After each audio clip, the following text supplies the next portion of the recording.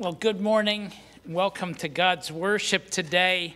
Um, I'd waited a little bit longer than when we usually get started with announcements because I know people come in late on fellowship dinner days, and I see some cars uh, uh, driving in today. But boy, today is a is a big day. It's uh, it's Mother's Day.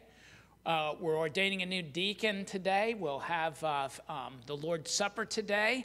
Uh, we're going to be having our fellowship dinner, and uh, uh, men and uh, children, um, we want to ask you to, uh, to serve our moms, let them sit down uh, and enjoy a meal today unhurried, since they serve us throughout the, the, the, whole of the year, most of the time. Um, in fact, before we do anything else, um, if you're a mom, I want you to remain seated, and everyone else, if you're able, please stand so that we can honor our moms. And I want to pray for uh, you moms. Uh, Father, thank you so much for the mothers that you have brought into our lives. Uh, Father, our own mothers and the mothers of our children, and uh, people who have been mothers to us, though they may not be related by blood, have been mothers in Israel, so to speak. And Father, we ask that your blessing would be upon each of these moms. Bless them, Father. Establish the work of their hands in um, the many hours and uh, days and resources that they have poured into their children. Bless them, Lord, we pray. In Jesus' name, amen. Please go ahead and be seated.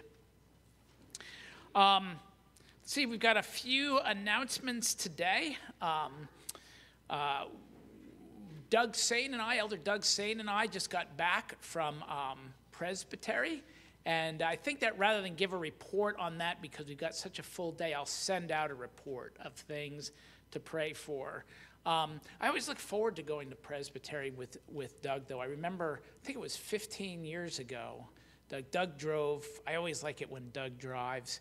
And uh, do you remember this? We were coming back across the Point of Rocks Bridge from Maryland. And as you come around the corner there, there's a, there's a, I think it was an old storefront, but it's abandoned now, and vendors will set up there. And as we come around that corner, there was a sign set up. Somebody was selling kettle corn. And as we came around that corner, Doug literally came around that corner, skidded into the parking lot, and said to me, Kettle corn, mind if I stop?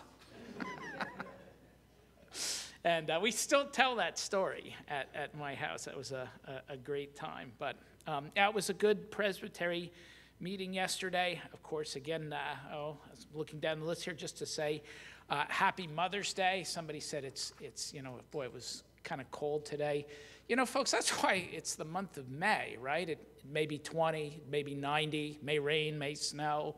We never know what it's going to be here. But um, You'll note uh, in your bulletins we've got the, uh, the, the, the, baby bottle uh, campaign benefiting Mosaic uh, Virginia Pregnancy Center that, uh, that we support. And uh, those are distributed. The idea behind those is that you take um, your baby bottles and you put spare change in them, and then um, and uh, or dollar bills or checks. I don't know. Does anybody get change anymore? I don't know. I haven't used change in a long time. But uh, but anyway, and then return them by June the 19th. And this is a campaign that they do at the churches every year uh, in order to uh, to, to help uh, moms uh, who. Um, are finding themselves in a difficult situation, but but want to keep their babies. They also have quite an extensive ministry to um, women who have aborted their children and are struggling with the with the guilt and the pain of doing that. And they have a, a very meaningful ministry to that too, and they've got a men's ministry to the uh, to the to the to the fathers who have been involved uh, in all of those things. So pick up your baby bottle and uh, uh look forward to participating again. Uh, in that this year, um, there's a number of things here, but I'm just going to uh, to um, uh, highlight again that we need help with uh, Bethel Summer Nature Camp. Runs from June 20 to 24th. It's just in the mornings, just those five days, uh, and then it's done. Um, it uh, doesn't require uh, the preparation that Vacation Bible School used to. Um, it looks like a pretty uh, easy thing, but whereas our Vacation Bible School, when we had it before the COVID pandemic hit was declining in, um, in, in attendance. There's been a lot of interest in this, a lot of people who have uh, registered uh, from outside the church. So uh, let me encourage you to, uh, to help out with that. And you can see uh, Donna regarding that. Um, let's uh, turn our attention to turn our attention to worshiping God, and we'll just spend a few moments in meditation doing that. Música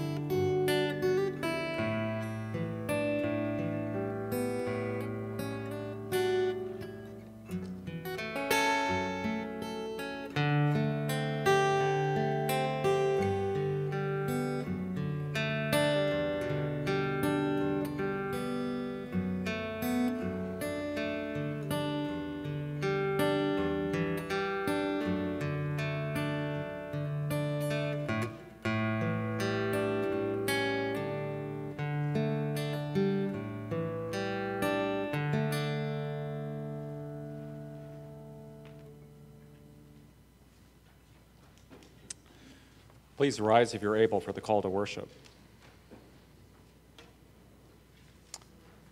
Come, let us bow down and worship. Let us kneel before the Lord our Maker. For he is our God, and we are the people of his pasture, the flock under his care.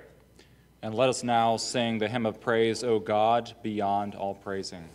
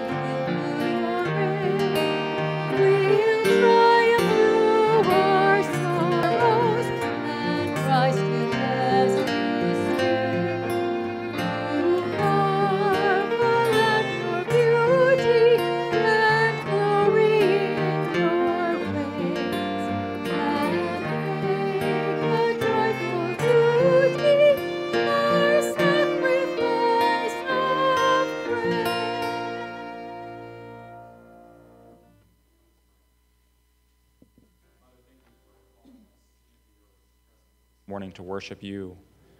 For we are reminded doubly this morning of just how unique and precious is this privilege of worshiping you.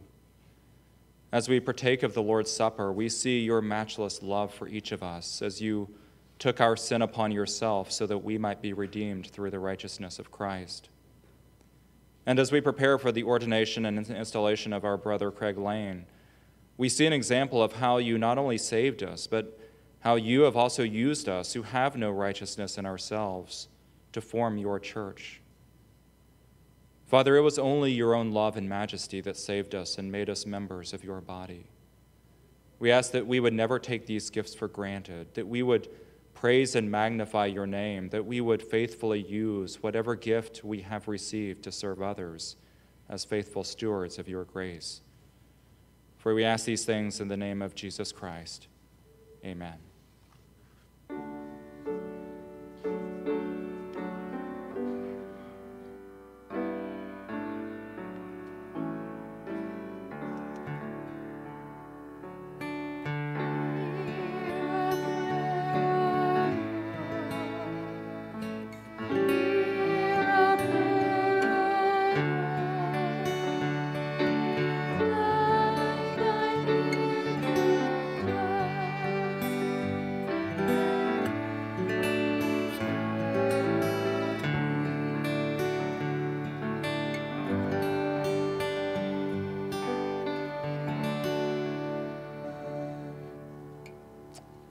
Please be seated.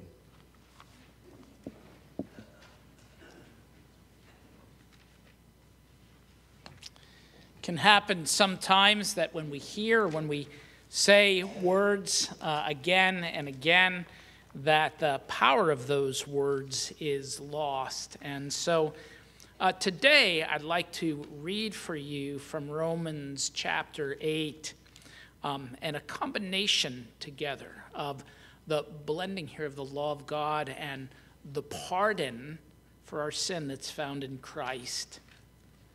And it says this Therefore, there is now no condemnation for those who are in Christ Jesus. Because through Christ Jesus, the law of the Spirit of life set me free from the law of sin and death. For what the law was powerless to do, and that it was weakened by the sinful nature, God did by sending his own Son in the likeness of sinful man to be a sin offering. And so he condemned sin in sinful man, in order that the righteous requirements of the law might be fully met in us, who do not live according to the sinful nature, but according to the Spirit. Thanks be to God for his love to us.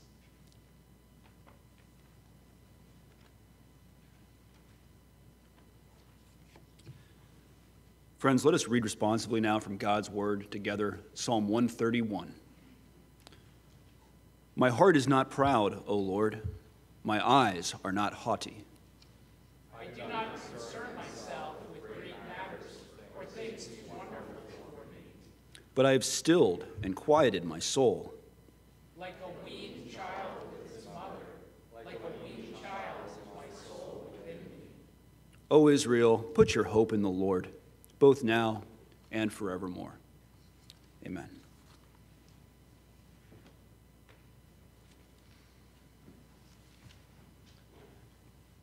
In the book of Luke, we hear the story about Zacchaeus, who's a man who owed a lot, owed a lot to his, his fellow men, um, certainly um, was someone who transgressed against God. And he comes to Jesus. Jesus um, offers him salvation, and in response, he um, pledges to give back to those that he had taken from, but also gives back to the poor, to people who um, he did not owe anything um, to. And he did this really out of love for what Jesus did to him. Because Jesus offered him salvation and gave him salvation, he responded with generosity and with love. And that really is how we should approach this time of our service, the, the tithes and offerings. Um, this can't purchase our salvation. This isn't something that um, we have to do to, to get our salvation. It's not something we can use in any way like that. Um, but as we've just heard, God has offered us salvation through Jesus Christ. Um, that is a tremendous blessing, a tremendous gift. And so we should recognize that, we should internalize that, and in response, uh, we should give back um, God's tithes and our offerings with gratefulness right now. Will our deacons come forward?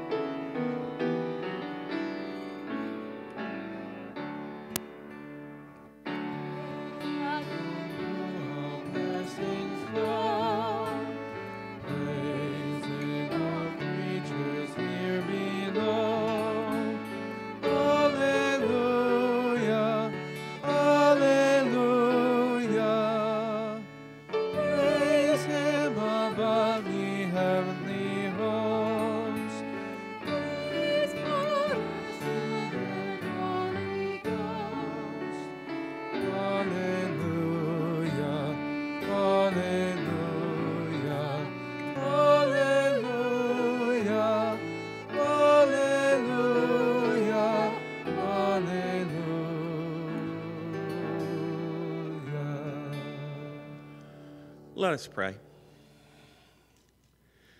Heavenly Father, thank you. Thank you that you give us the things that we can come back and present to you. We only present a portion of what you give us. But we intend it to be a token of giving ourselves to you. So we would ask that you would use these tokens, our tithes and offerings, for your own glory, but also use us for that same purpose, that you might be glorified, that your name might be known throughout this area, the nation, and even the entire world. Amen. Friends, let us now take joy in confessing together a summary of our faith as found in 1 Timothy 3:16. Beyond all question, the mystery from which true godliness springs is great. God appeared in the flesh, was vindicated by the Spirit, was seen by angels, was preached among the nations, was believed on in the world, was taken up in glory. And please be seated.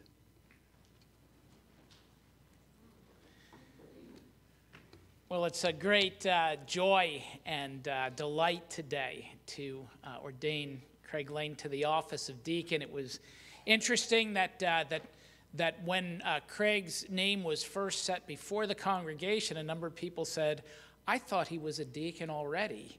And uh, that's because he has served doing those things for so long. But um, in accordance with our Book of Church Order, Craig and I uh, met and uh, we looked at the Bible, we looked at theology, we looked at our uh, form of government and um, book of discipline and uh, directory for public worship, and um, covered all of those things that were necessary to be uh, covered from the from the learning standpoint, the theological standpoint, if you.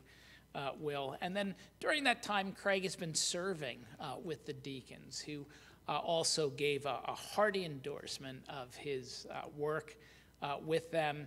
And uh, of course, then when uh, the congregation voted to call him. It was a unanimous call. So um, we are, we are excited to be able to do that today. And I'm going to ask Craig if he would come and uh, stand here. Start right in the center here. The office of deacon is based upon the kindness and love of Christ for his people. The Lord Jesus is concerned with not only the eternal and spiritual needs of people, but the here and now needs of people. And he considers what is done to the least of his brothers is done to him. He told us that a day is coming when he will say to those who have ministered to the least of these, I was hungry and you gave me something to eat. I was thirsty and you gave me something to drink. I was a stranger and you took me in, naked and you clothed me. I was sick and you visited me. I was in prison and you came to me. In the beginning, the apostles themselves ministered to those in need, but as the needs grew, in order that they might be able to devote themselves to prayer and the ministry of the word, they committed that responsibility to others, having directed the people to choose men of good report, full of the Holy Spirit and of wisdom. And since the days of the apostles, the church has recognized the care of those in need and distress as a distinct ministry of the church committed to deacons. The duties of deacons consist of encouraging members of the church to provide for those who are in need, seeking to prevent poverty, making discreet and cheerful distribution to the needy, praying with the distressed, and reminding them of the consolations of the Holy Scripture. If they are to fill worthily so sacred an office, deacons must adorn sound doctrine by holy living, setting an example of godliness in all their relations with others. Let them walk with exemplary piety and diligently discharge the obligations of their office. Now, Craig, I uh, put these vows to you before uh, the Lord and before his people. Craig, do you believe the scriptures of the Old and New Testaments to be the Word of God, the only infallible rule of faith and practice? Do you sincerely receive and adopt the confession of faith and catechisms of this church as containing the system of doctrine taught in the Holy Scriptures? Do you approve of the government, discipline, and worship of the Orthodox Presbyterian Church? Do you promise to seek the purity, the peace, and the unity of the church?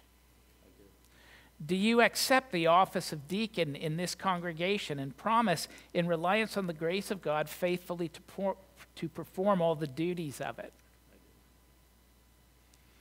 And, uh, dear congregation of the Lord Jesus, then I put the, this question to you, and you can just signify uh, your assent by raising your right hand. Do you, the members of this church, acknowledge and receive Craig Lane as a deacon? And do you promise to yield him all that honor, encouragement, and obedience in the Lord to which his office, according to the Word of God and the Constitution of our church, entitles him if you do raise your right hand? Going to uh, ask uh, our elders and uh, any other ordained elders and ministers if they would come forward for the ordination.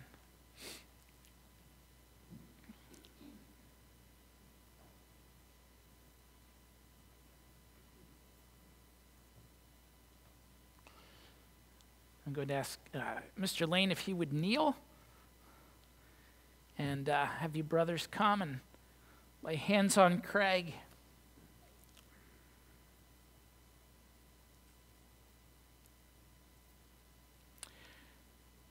Lord Jesus, with all of our hearts, we believe that you have called our brother Craig to you the office of deacon, for which he is today set apart, and to which he is ordained through the laying on of our hands.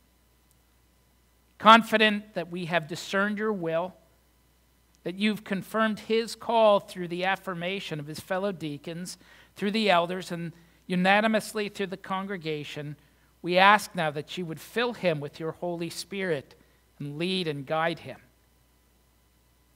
He, like all of us here, have faults and failings, weaknesses and woes. And if perfection were what qualified us to serve you, none of us would or could. Impress upon him and all of us that when you called Peter, you knew his weakness, but his strength to serve you and to grow in grace while doing so came not from himself, but from you being at work in him to will and to do your good pleasure.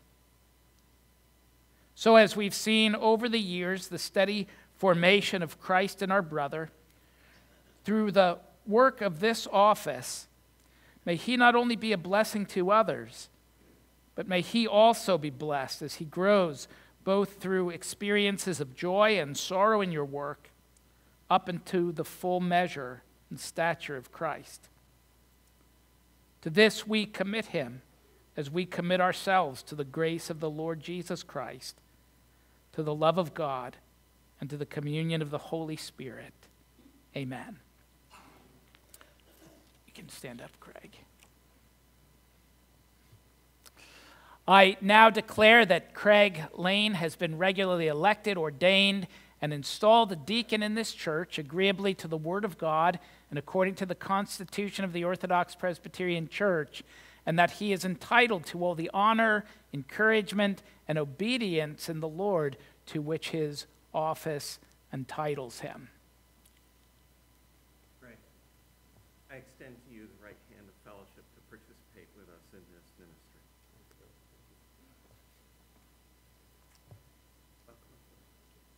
God bless you, Craig.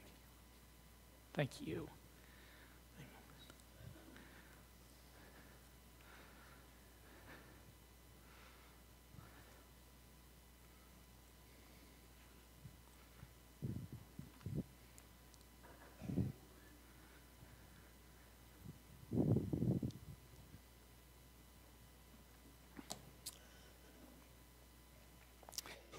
You will turn in your hymnals, and if you're able to, to 561, or you can use the bulletin. And uh, if you're able to rise, and we'll sing together, uh, Lord, speak to me that I may speak.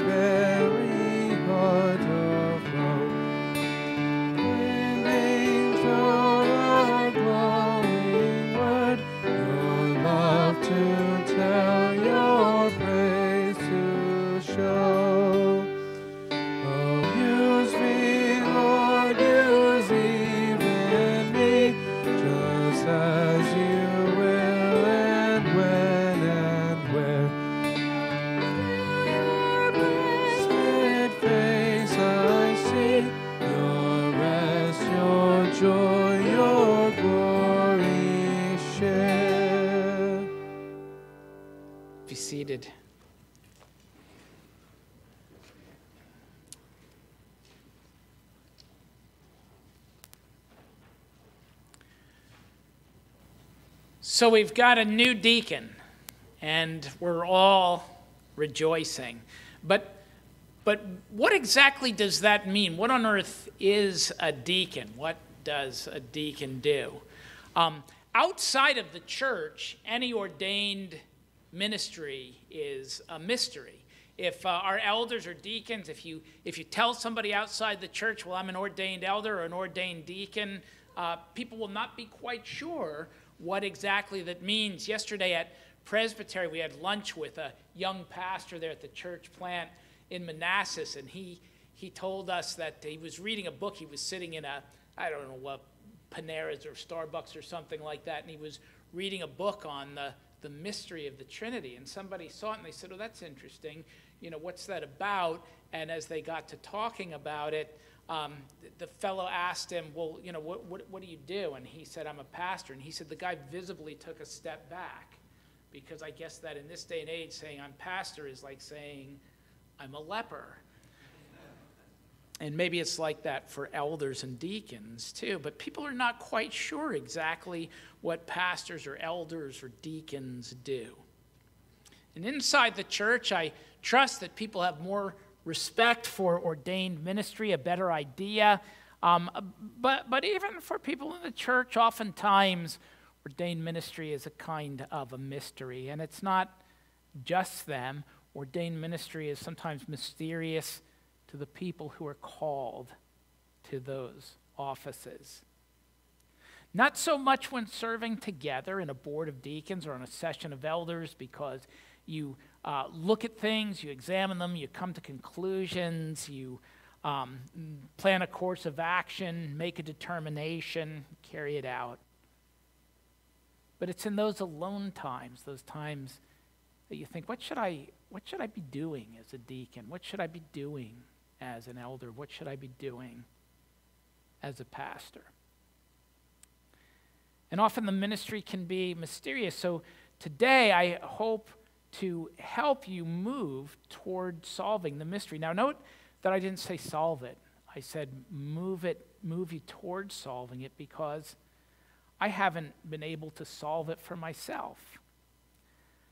But I can point you in the direction. I can tell you the direction to go to solve it. And I want to begin today by reading from 1 Timothy chapter 3. I'm going to read from verse 8 through 16. Deacons, likewise, are to be men worthy of respect, sincere, not indulging in much wine, and not pursuing dishonest gain. They must keep hold of the deep truths of the faith with a clear conscience. They must first be tested, and then, if there's nothing against them, let them serve as deacons. In the same way, their, their wives are to be women worthy of respect, not malicious talkers, but temperate and trustworthy in everything. Deacon must be the husband but one wife, must manage his children and his household well. Those who have served well gain an excellent standing and great assurance in their faith in Christ Jesus. Although I hope to come to you soon, I'm writing you these instructions so that if I'm delayed, you will know how people ought to conduct themselves in God's household, which is the church of the living God, the pillar and foundation of the truth. Beyond all question, the mystery of godliness is great.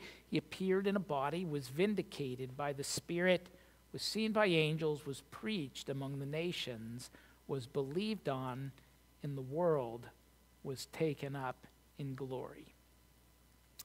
And Father, uh, today may the words of my lips and the meditation of Craig's heart and all of our hearts be acceptable in your sight, O God, our rock and our redeemer.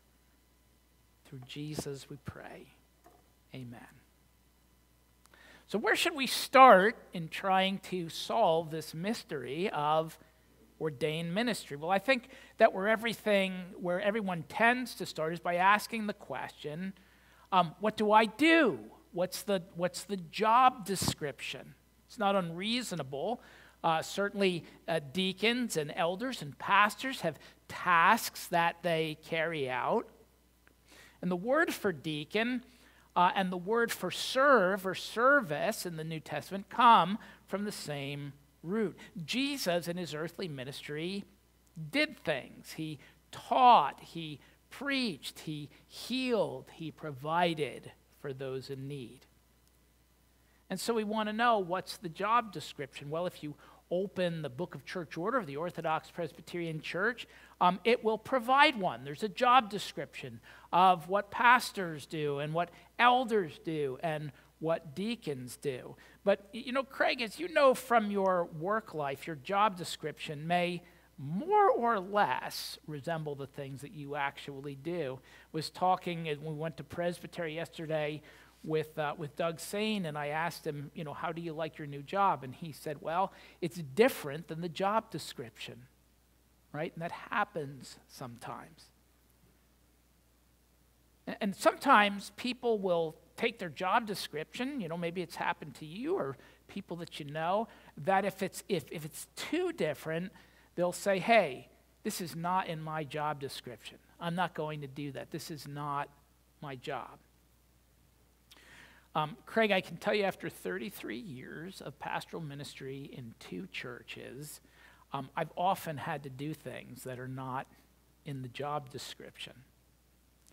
A common word for Christ's servants in the New Testament is the word doulos. We sanitize that by translating it servant. Bondservant is better, but the word really means slave. And slaves don't have rights. Slaves don't get to say to their master, hey, this isn't my job. And so you may well find yourself doing things that were never anticipated by the book of church orders, job description, because the Holy Spirit, speaking through God's word and through your conscience and the circumstances, convince you that this is what Jesus is calling you to do at this moment. The office of deacon is a very early office in the church. Paul's letter to the Philippians is written less than 30 years after the resurrection of Jesus. And that letter begins to the saints in Philippi together with the overseers and deacons.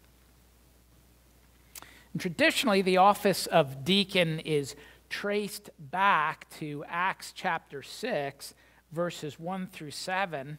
It's worth uh, reading that passage. Uh, Paul, as he, um, I'm sorry, uh, uh, Luke, as he's recording these events here, uh, tells us that in those days, when the number of disciples was increasing, the Grecian Jews among them complained against the uh, Hebraic Jews because their widows were being overlooked in the daily distribution of food. So the twelve gathered all the disciples together and said, It would not be right for us to neglect the ministry of the Word of God in order to wait on tables. And that word, wait on tables, there is literally a verbal form of the word deacon, to deacon.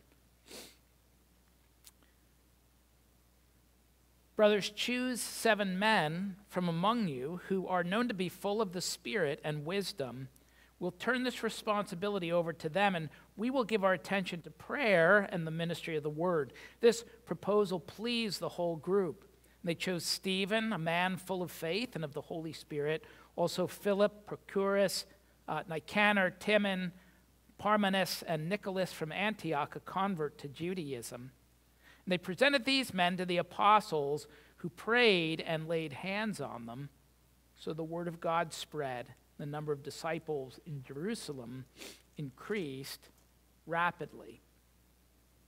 And often the deacon's job description is taken from here. It is in our book of church order. And it's said to be a ministry to the poor, to those who are in need. Now, I have no doubt that the Lord Jesus, who had tender compassion and mercy and care for those who were in need during his earthly ministry here, still has it and has provided that through his church. Certainly, care for those in need must be a part of the diaconal task. But if you carefully read what is said here, the text convinces me that it cannot be limited to that because the stated purpose of the establishment of the deacons, while the circumstance was to care for those who were in need, was so that those who were called to the ministry of prayer, the ministry of preaching and teaching the word, would be able to devote themselves to it without distraction. Any ordained ministry will be mysterious if we uh, focus our attention on the wrong things about it. And certainly there are tasks for deacons to do, tasks for elders to do, pa- uh, tasks for pastors to do, but God's focus uh, in the passage that I've read today is more on what deacons should be rather than what they should do. And we'll move closer to solving the mystery of ordained ministry if, if you ask, What should I be? In 1 Timothy 3, when Paul tells Timothy to seek out uh, elders, overseers, and deacons, he doesn't give them a list of the things they are to do, their tasks or their jobs, but tells them, uh, tells them what they are to be. And he begins, I'll have you note when he addresses this uh, issue of deacons, he says, Deacons likewise. That means that what he said about uh, elders also applies to deacons. In fact, if you read the two uh, groups of things that he says here, there's a, a lot of uh, overlap. But I'll point out something here in the elders that uh, he doesn't uh, he doesn't repeat, but I think it it bears highlighting, uh, and that is the word that it should be somebody who is hospitable. We, we tend to think of hospitality as getting together with friends from church. I hear the word used that way a lot. But that actually fits into the category of fellowship. The word hospitable is the word philoxenos, and it literally means a lover of strangers, a lover of people who are not of us or from among us or like us. People's natural inclination is to uh, like people who are like them and subtly or not so subtly disengage from people who are not like them. It's in fact exactly what happened in Acts chapter 6 with the Grecian Jews. Um, the church was there gathered in Jerusalem, in Judea, and just to give you a little bit of the, the history and setting there, that there had been a dispersion of the Jews uh, throughout the Mediterranean, and a lot of those Jews who were dispersed uh, ended up taking on the trappings of the Hellenistic culture which they lived. The men shaved their beards. They wore uh, Greek clothes, Hellenistic clothes. They might not have been so careful about the dietary restrictions, but in Judea, those Jews were the real Jews. They dressed like Jews, they ate like Jews, they spoke Aramaic instead of Greek. And, um, and, and so, as, uh, as, as the church there gathers with both uh, Hellenistic Jews and Judaic Jews, the Hellenistic widows are overlooked in the distribution of food. Why? Because they were other, they were different. Now, all of the things that are spoken of here are tasks that flow from traits. Speaks about being worthy of respect, sincere, not known as a guy who likes his drink, not avaricious, generous, not tight fisted, uh, knowing the deep truths of the faith, really, hold, uh, literally, rather, holding the mystery of the faith with a clear conscience and perhaps surprisingly, we have in this list qualifications of the deacon's wife. So there's things here that speak to Elizabeth too. Um, because the, much of what the deacon does is not proprietary. A lot of the elder's work is not delegable.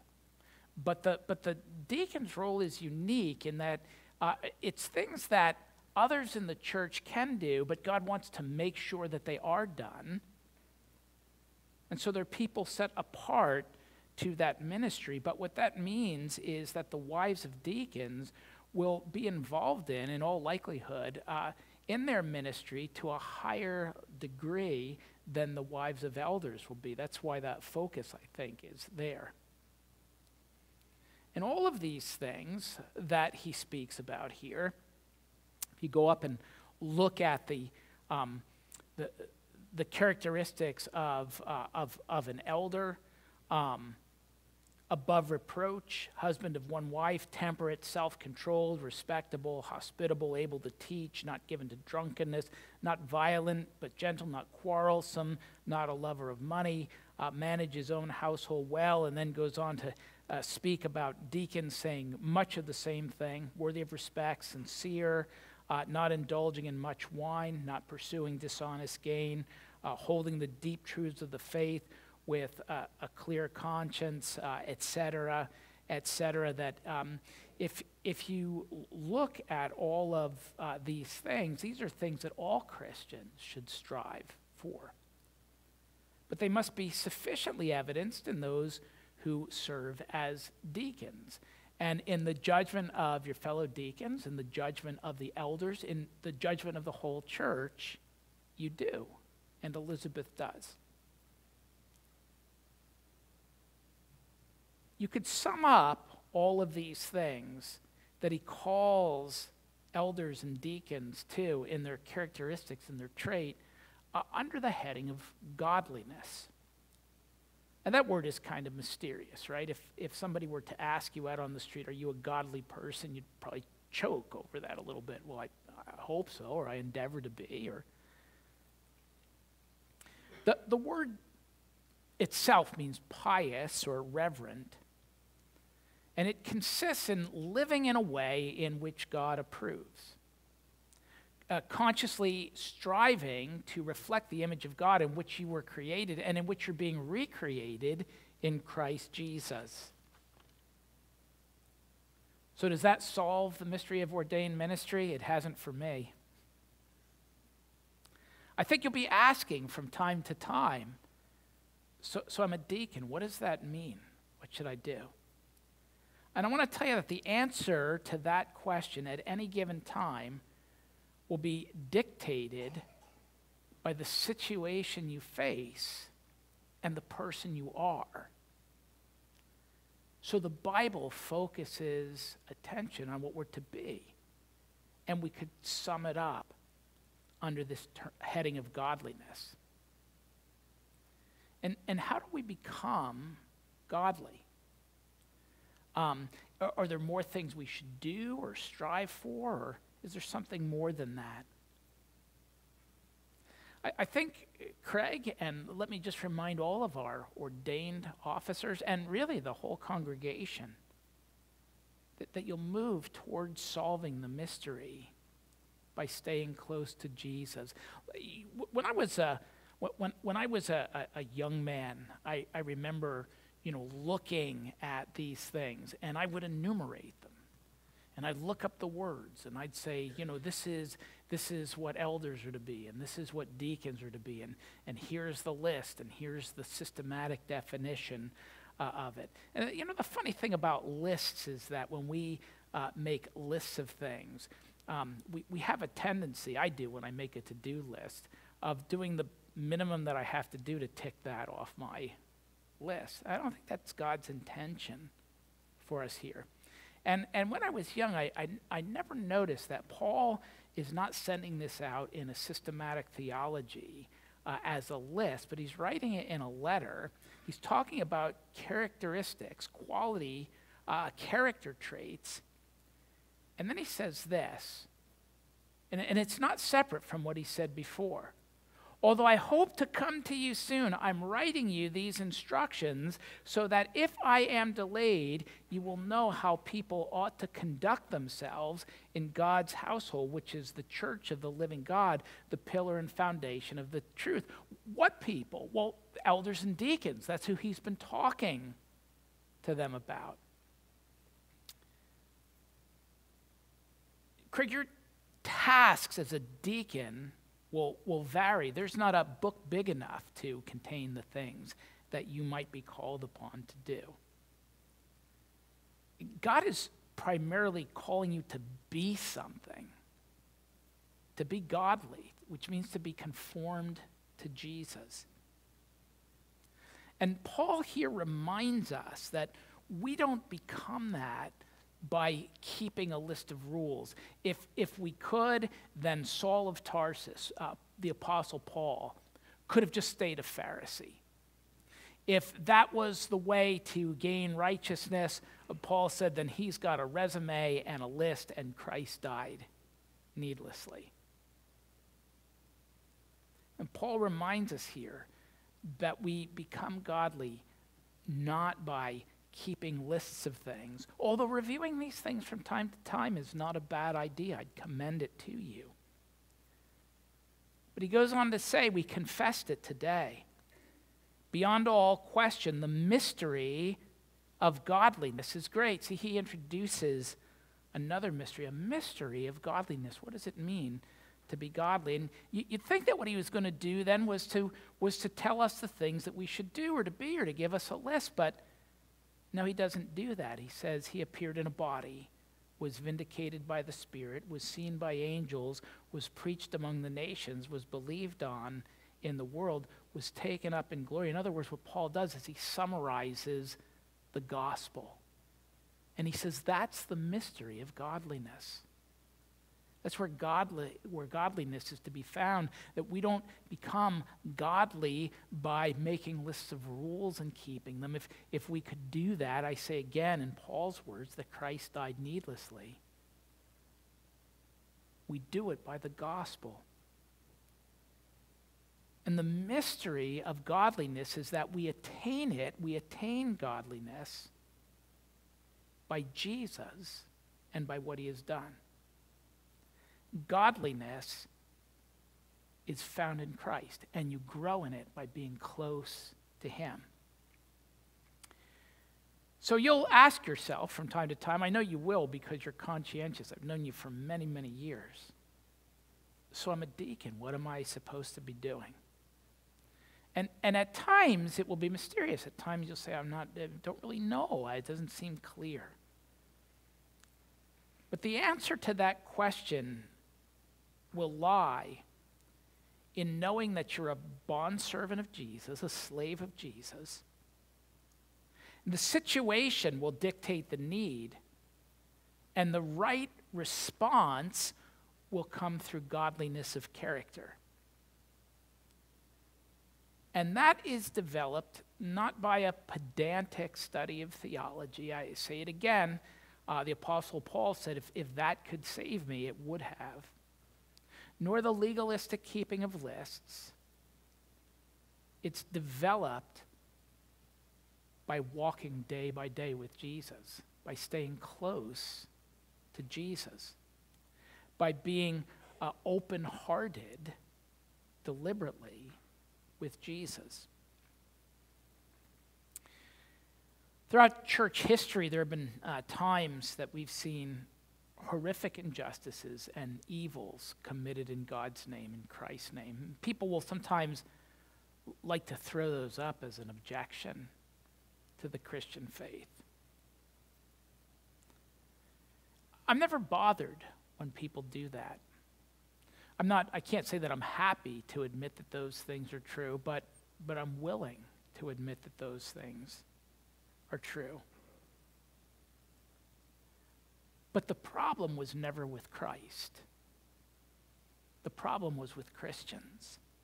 It ought not to be, but sometimes it has been. What's the cause of that? I think the cause of that goes back to this, and I've reflected on this a lot in my own life and ministry as I've, as I've looked at this passage. Something that I've discovered over, over three decades of ministry, uh, and I've often pondered it through these words. And, and so, Craig, if you take nothing else away today uh, from what I've told you, take this it's dangerous for the servants of God to get far from Jesus. The further people get from Jesus, the more they'll try to use him for their purposes. But the closer you get to Jesus, the more he will be able to use you for his. And if you want to move towards solving the mystery of what you're supposed to be doing as a deacon, Stay close to Jesus.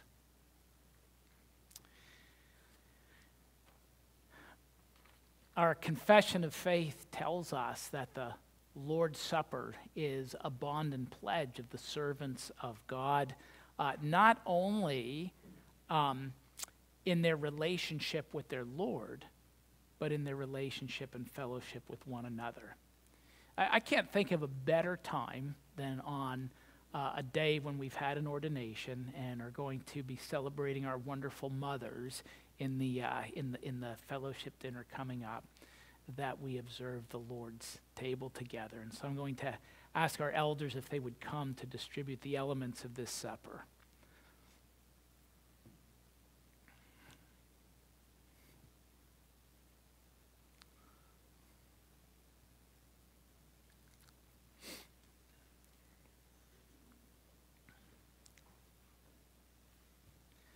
For I received from the Lord what I also delivered to you that the Lord Jesus, in the night in which he was betrayed, took bread, and when he'd given thanks, he broke it and said, This is my body, which is for you.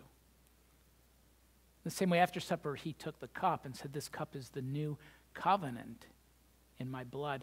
Do this as often as you drink it in remembrance of me. For as often as you eat this bread and drink this cup, you proclaim the Lord's death until he comes. Therefore, whoever eats the bread or drinks the cup of the Lord in an unworthy manner will be guilty of the body and the blood of the Lord. But let one examine himself, herself. So let them eat of the bread and drink of the cup.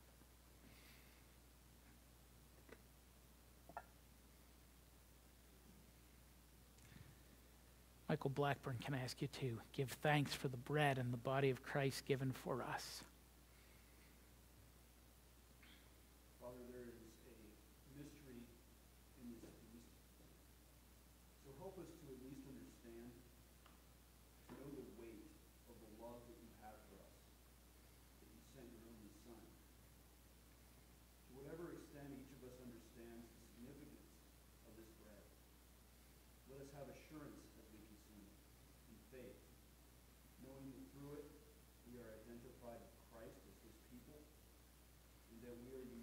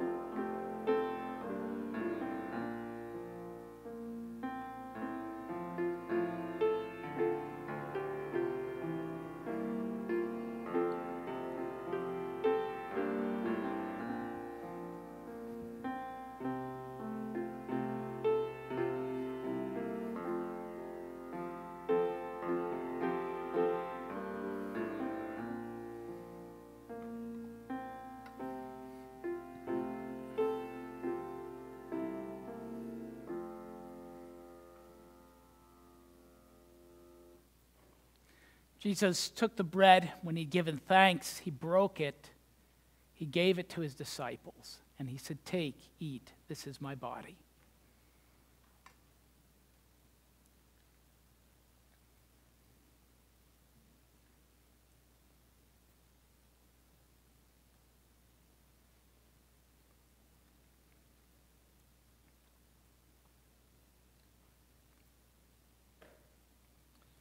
After supper, Jesus took the cup.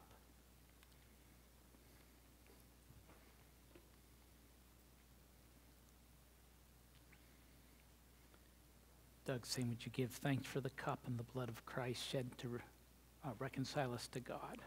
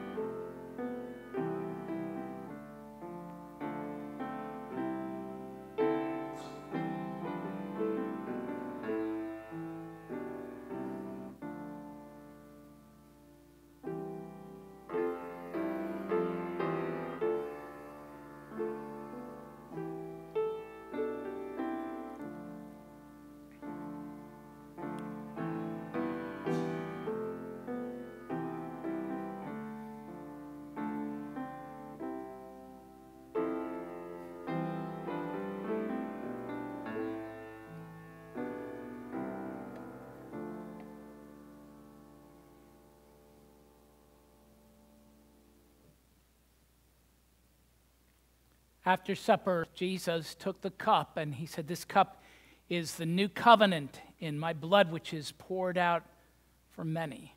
Drink it.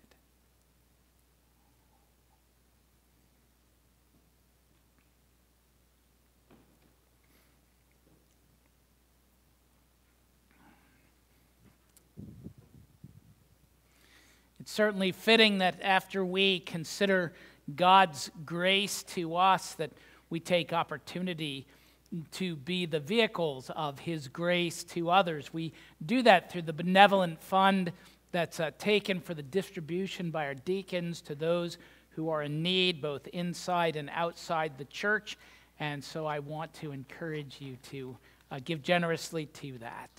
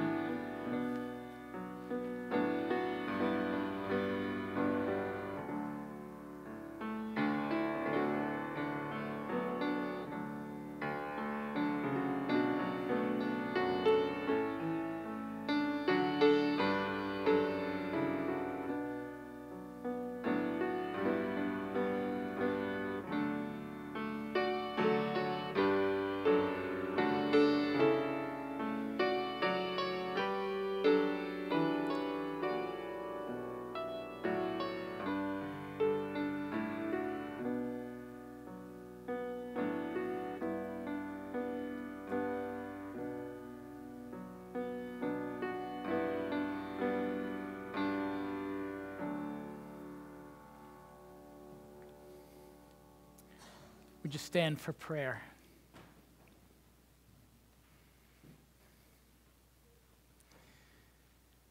Our Father, we thank you for your grace, which is great to us.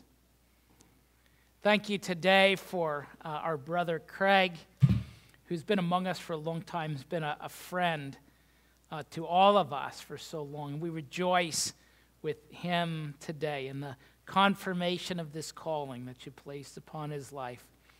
We pray that you'd bless him greatly in it. And Father, these things that have been given today, uh, now as he participates in the distribution of those things, we pray that you would give him uh, wisdom and grace, uh, generosity and winsomeness in reflecting the Lord Jesus. And uh, Father, we pray that your blessing would be upon all of us. Again, we ask for your blessing upon our moms as we celebrate them in the dinner to come today. Thank you for this wonderful day you've given to us. In Jesus' name, amen. As we conclude our worship, um, if you'll turn in your bulletin or in your black hymnal to number four, and we'll sing together, All I Have is Christ. Thank you.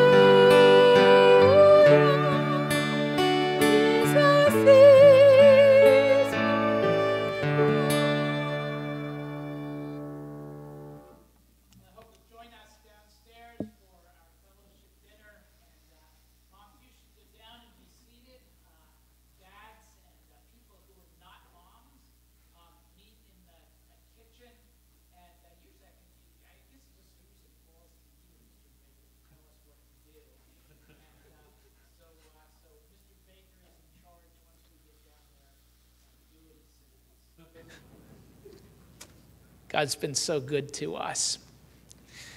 Now, uh, may the grace of the Lord Jesus Christ and the love of God and the fellowship of the Holy Spirit be with you all today and forever. Amen.